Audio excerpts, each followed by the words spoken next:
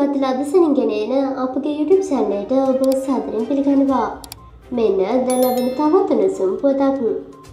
පාසල් දරුවන් වෙනුවෙන් විද්‍යුත් තැපැල් ගිනුම් සැකසීමේදී මව්පියන්ගේ දත්ත ඇතුළත් නොකරන ලෙස පොලිස් අපරාධංශයේ උසස් නිලධාරීන් විසින් ප්‍රතිසන්ධානය සහ ජාතික සමගය පිළිබඳව අංශික අධීක්ෂණ කාරක සභාවේදී අවධාරණය කර තිබෙනවා.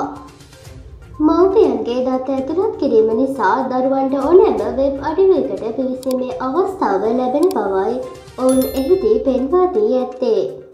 දරුවන්ගේ නිවැරදි වයස ඇතුළු තොරතුරු ලබාදීම සිදු කරන්නේ නම් අන්ත්‍රජාල පද්ධතිය දරුවන්ට නුදුස් දර්ශන සහ වෙබ් අඩවි සොයා බැලීමේ හැකියාව සහ ඒවාට ප්‍රවේශවීම පාලනය කරන බවද පොලිස් අපරාධංශය නිලධාරීන් එහිදී ප්‍රකාශ කර තිබෙනවා.